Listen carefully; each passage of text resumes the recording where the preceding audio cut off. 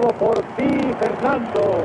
Eres en el béisbol oro, mezquita, basílica y cactus. El resto de los jugadores ahí va Caribán para tirar, que rayo lanzó. Y alto.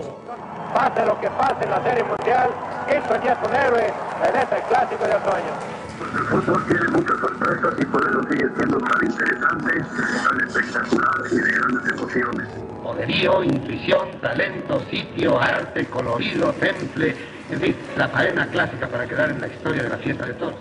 La Mendoza primera, doble play. Tremenda jugada de Mario. La jugada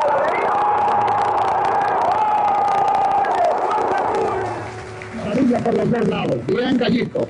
Ya está el ciclón listo con el capote.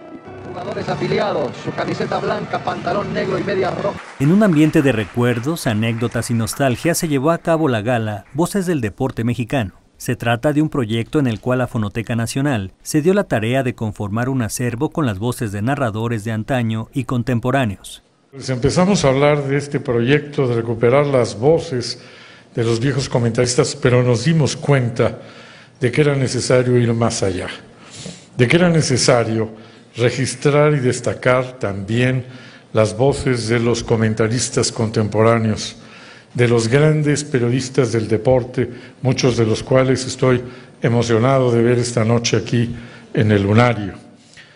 Su calidad es verdaderamente notable y la cantidad de comentaristas de calidad en México es sorprendente.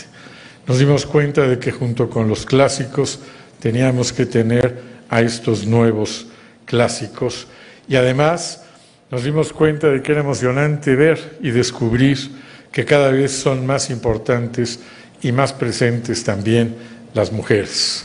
Una velada en la que se dieron cita a aquellos personajes que con su voz han dado vida a la crónica deportiva en México. Arturo Rivera, Emilio Fernando Alonso, Enrique Burak y Pablo Carrillo, entre muchos otros. Durante la ceremonia realizada en el lunario del Auditorio Nacional, también se hizo un homenaje a las voces que hicieron historia y que ya no están, Fernando Marcos, el Mago Septién y Ángel Fernández. El proyecto contó con la colaboración de Cruz Azul, Voces del Deporte Mexicano, está dividido en tres etapas, un libro, un video documental y un micrositio. Notimex.